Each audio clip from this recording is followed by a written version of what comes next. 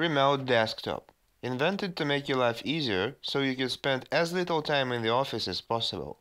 In reality, you spend a whole day complete with overtime in the office, then rush home only to connect to your desktop remotely and continue working. It only seems that modern technologies, by increasing speed of information processing, ease the life of the employees, and now they just float around the open space with happy faces.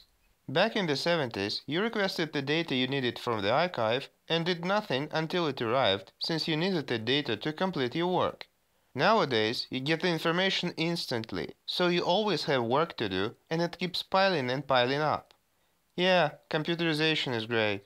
Anyway, if you use Microsoft RDP, you probably noticed that the start menu lacks reboot and shutdown options, and sometimes you need to reboot your remote computer. Of course, you can always enter a console command, but there is an easier way. Connect to the remote computer and press Ctrl Alt and not Del as usual, but rather End. The remote session will display a familiar lock screen which has a power icon in the right bottom corner. Use it to shut down or reboot a remote PC via RDP.